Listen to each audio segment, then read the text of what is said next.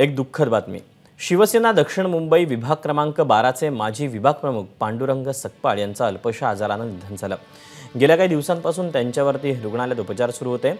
आज संध्याकाळी पाच वाजता गिरगाव चंदनवाडी स्मशानभूमी येथे त्यांच्या पार्थिवावर अंत्यसंस्कार करण्यात येतील. दक्षिण मुंबईतील एक निष्ठावंत शिवसैनिक म्हणून पांडुरंग सकपाळ यांची ओळख होती.